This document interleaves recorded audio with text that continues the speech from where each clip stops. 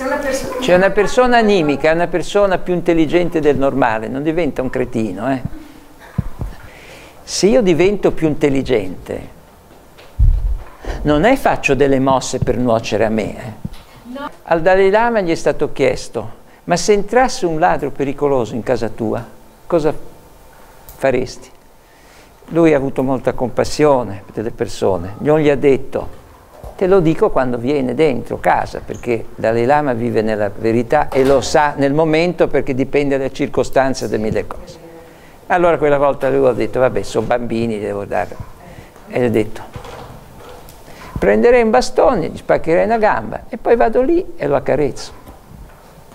Cioè lo rendo innocuo e dopo, quindi non compio un atto di violenza, faccio ciò che va fatto, lo fermo.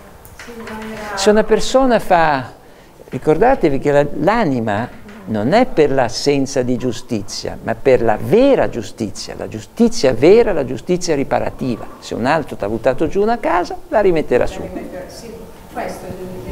Certo. Mentre la giustizia punitiva è che l'altro non ti rimetterà sulla casa, ma se ne andrà in galera. Poi uscirà dalla galera e cercherà di distruggerti quello che ancora fa. Cioè, non finisce più. Ecco. Va bene. Cioè vi voglio stare sereni che non ci sono inconvenienti andare nella...